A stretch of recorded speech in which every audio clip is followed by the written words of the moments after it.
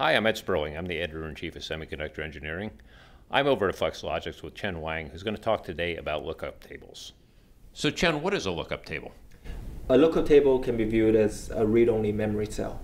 It's basically a cell that is programmable to implement any combinatorial operation within that number of inputs. So for example, a two-input lookup table can implement any AND or NAND XOR gates as long as it's two inputs. A four input lookup table can do a four input combinatorial function of arbitrary computation.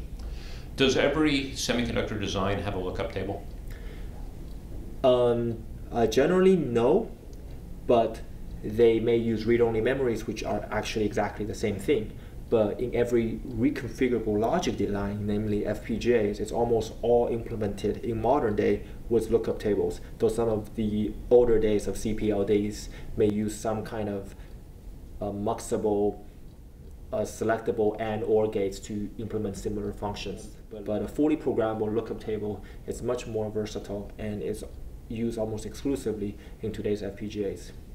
Okay. Can you show this to us visually? Mm, yeah, sure.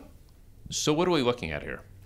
So this is a very simple example of a two-input lookup table. So for example, you may have two inputs 0 and 1 that could have four states because that would be 2 to the power of 2 and it can be used to implement for example an AND gate in, which case the four logic elements in here will be mapped to 0, 0, 0 and 1 and for OR gate the four logic elements here will be mapped to 0, 1, 1, and 1. And the XOR gates will be mapped to 0, 1, 1, and 0. It's basically a truth table that tells the FPGA for each of these input combinations what the values of the output should be. So this could be a simple two-input lookup table that can be used to map any two input functions, including these very commonly used ones. So for a four input lookup table, there will be 2 to the 4, which will be 16 entries to the, the, the read-only memory, ROM. And for a six input lookup table, there will be 2 to the 6th, which will be 64 entries to this ROM. What's the advantage of having more lookup tables? Ah, very good question. So having a larger number of inputs to your lookup table allow you to build a much more complex logic gate within one lookup table cell, or what they call logic cell. And logic cell is very important in an FPGA world because the more logic cells you have to implement a certain function, not only does that add area, that also adds significant routing to connect these logic cells together. So it is very beneficial to be able to implement the combinatorial logic the customer needs in as few logic cells as possible, as long as the, as the logic cell sizes are reasonable and the routing resources required to route them are reasonable. So as you add in more inputs to your lookup tables, what does that do to performance? What does it do also for power? Yeah, so um, any customer will care about performance, area, and power. And one thing to keep note is um, they're all kind of related in the world of FPGAs, but let's uh, look at a very simplistic example first. Uh, let's say we have a six input combinatorial gate. And if we are using a lookup table structure of four inputs or less, we will have to use two stages of lookup tables, a two stage followed by a one stage in order to realize this six input logic cell. However, if we were to build them with a six input lookup table, we can realize the same combinatorial logic with a single logic cell. Now, each one of these four input lookup tables have 16 entries. And each one of these six input lookup tables have 64 entries. So at a glance, well, you could say, Cheng, these only add up to 48 entries, while these require 64 entries. Why is it that six input LUTs are better? It is because of routing. FPGAs are heavily dominated by routing, and Flex Logix have one of the best routing architectures, and yet we're still more than 50% routing by area. Therefore, the route here, the route here, and the route here will add way more area and way more power and way more delay to your lookup table than the difference in the, the number of entries can contribute. So, so therefore, um, even though a six input lookup table is four times larger in terms of the number of entries, the actual power difference from a single lookup table that is six input versus four is maybe 30%, maybe 50%. Of course, it depends on the actual logic that you're mapping. But because you now only have to use one logic cell and one set of interconnects as opposed to two feeding into a third one, the overall power reduction far outweighs the the um, power penalty from a larger lookup table. So if you're if you're using uh, more separate lookup tables, is the routing on that from the interconnect harder than it is on a single lookup table? Absolutely. In fact, on an FPGA, uh, the connection between a lookup table to another lookup table is never just a wire. In fact, there is a whole series of switches that have to take place in order for any point A and point B to connect together.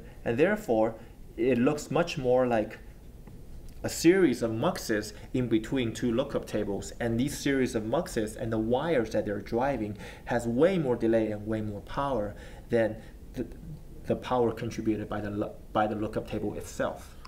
So we understand the power implications as well as the, the performance implications. Are there any instances where a four input lookup table is better than a six input lookup table?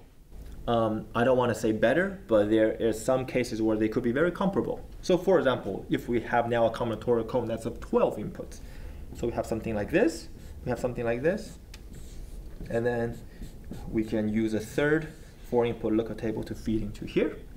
And now on the other hand, we still would need another six input lookup table to feed into a second stage. Uh, so one can argue, hey Cheng, look, both of these cases of 12 input, 1 output combinatorial logic have two stages of logic. So in terms of performance, it should be on par. It's a LUT followed by some routing, followed by a second lookup table, same here. So in this case, a four input lookup table is slightly faster than a six input lookup table because it's a smaller uh, logic cell.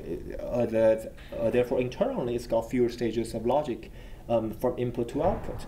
So in this one case, the four input lookup table structure can result in a slightly faster performance, even though the six input lookup table structure still uses one fewer lookup table. In this case, one can argue that there is a disadvantage to going to a larger um, uh, six input lookup table versus the more traditional four input lookup tables. But I will consider this to be more of a special case. As you add more inputs, does it get harder to design these chips with the, the more lookup tables?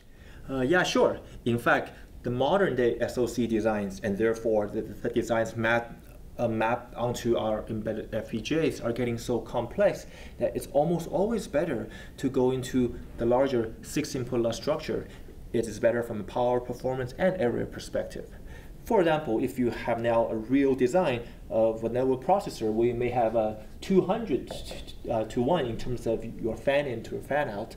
Um, that's going to be uh, 4 to the 4 in terms of um, mapping them to 4 input lookup tables, which will be 4 stages. But then with 6 input lookup tables, you can do them with 3 stages.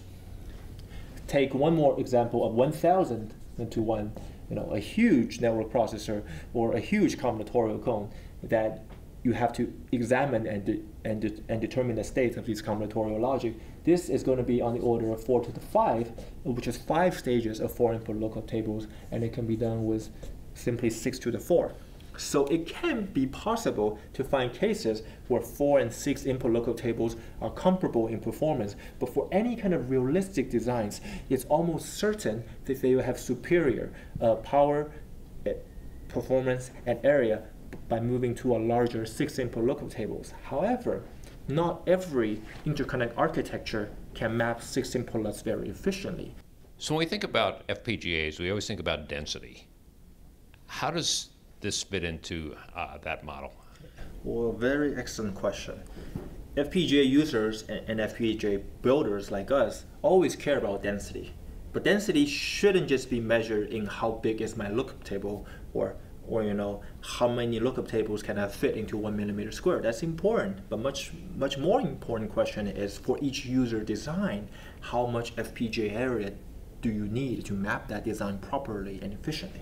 So, in this one example where you know you look at the six input LUT and the four input LUT, and you go, there's not a whole lot of difference in terms of LUT count. This, this uses four logic cells, this uses three logic cells. But remember, this is one extreme example I was trying to show where four input LUT may come close or be even better in terms of performance. But for most cases, you know, like our first example where, where we had a single stage versus a three stage, well, the number of logic cell difference is three to one. So for more realistic examples, the number of logic cells you need for a six input LUT versus four is anywhere on the order to one and a half to, to two. And I believe Xilinx have used a multiplier of 1.6. And, and, and I believe for the data that we have collected, it is Uh, within uh, reasonable expectations. Cheng Wang, thanks for a great explanation. You're welcome.